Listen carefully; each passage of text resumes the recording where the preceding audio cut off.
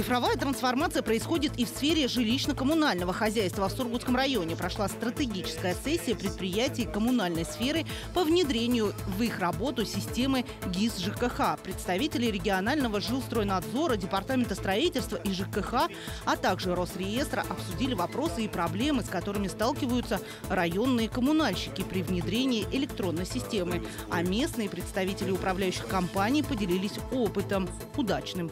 ГИС ЖКХ – это государственная информационная система жилищно-коммунального хозяйства. И ее цель – это обеспечить граждан, органы государственной власти, местного самоуправления и другие организации официальной информацией. При этом доступ к ней свободный, так как данные являются открытыми.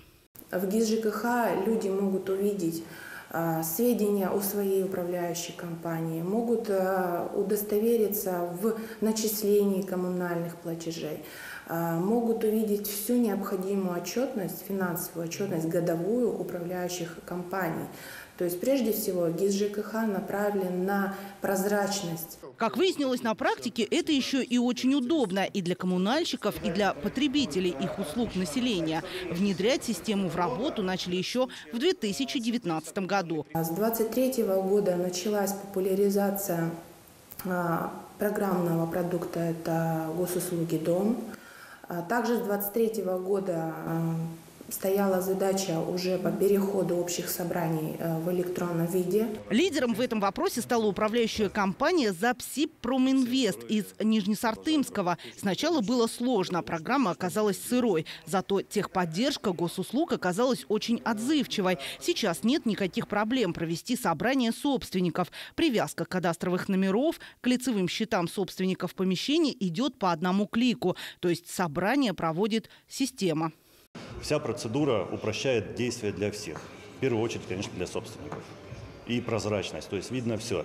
Никто уже из собственников, как это было раньше при проведении очных либо заочных собраний, некоторые собственники возмущались. Мы не видели, мы не знали, мы не подписывали и так далее. С помощью системы ГИС ЖКХ управляющая компания уже решила два глобальных вопроса. Это внедрение новых тарифов и подписание новых договоров с собственниками. Сейчас решает вопрос по созданию советов многоквартирных домов. А еще новаторы помогли своему муниципалитету добавить очередную звезду в копилку достижений.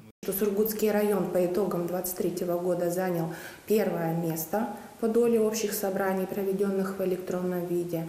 Это у нас э, благодаря э, управляющей организации «Запсимпром Инвест» сельское поселение Нижний Сартымск.